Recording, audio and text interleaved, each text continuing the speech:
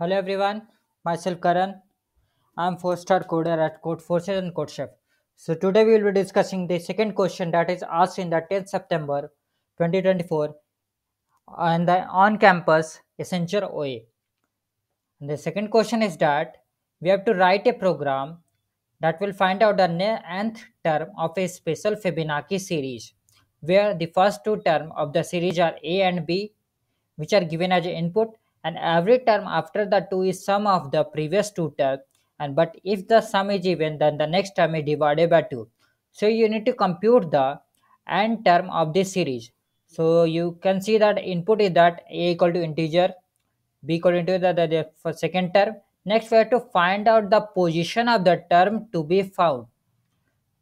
So the n term of the position, n term of the series,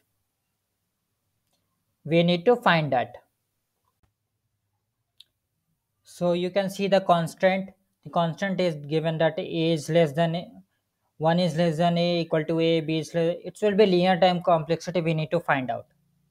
So let's take an example test case we have given a test case that a equal to 2 b equal to 3 and we have to find out the fifth term of the series that is the n term of the series so since the output is 9 so how can we get that so the series will start from the 2 and end with 3 so when we sum up the values that is the previous two term that will be 2 plus 3 5 so we have got the 5 next we iterate to the next value. Term 4 because we have found out the third term we need to find out the fifth term.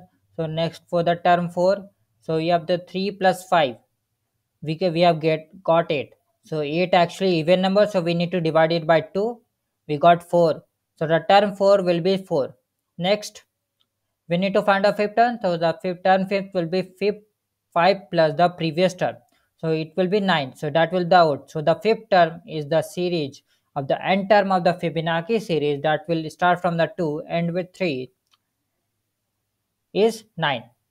So let's go to the VS code and see how can we write code for this. Since I've already written the code for it, so we need to see a problem. So as simple, we need to take the three integer that is a, b and n. That is the a first term, b second term and the n term of the series. Next we have to take the input of that that is C in C, P, C, N. Next, we have to call the function that is special Fibonacci series. The, the most important thing that will be done in this function that is the special Fibonacci series. So in the special Fibonacci series, we take the we first check the base cases.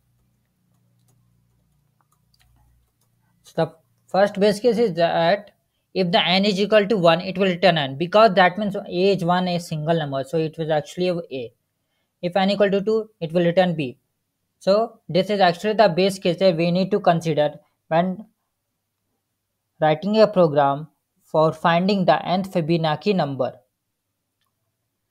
Next we have to take the term that is the term 1, term 2 and we have to find out the next term. Now we take a look from the term 3 to nth term. We need to sum up the values because it will give me the third term. So the uh, since the basic logic behind the Fibonacci series that it is the sum of the previous two terms. So the next term will be term 1 plus term 2. Next we have to check the condition that the next term is even or odd. If the next term is even then we need to divide it by 2. After division we need to again sum up to the values to the term 2 and we need to assign the values to the term 2 and we need to update the values and it will return the term 2 that is the end term of the Fibonacci series. So that's how you can find out the end term of the special Fibonacci series. So let us run through the editor. I've already done the editing. Let's again rerun this. So we have taken the A, 2, B3 and n term will be 5. And what our expected output? The expected output is none. Let's run this code and see works or not. So you can see that our test case has been passed. So that's how you can find out the n term of the Fibonacci series when you are giving the OA of the Accenture. So this is for today. So today I'm wrapping up this session and in this channel I am adding or in this place I am adding so many more questions that will asked in the Accenture OA in the next upcoming videos. So thanks for subscribing subscribe our channel to get more latest update about the OA problems and the OA questions and with the OA solutions.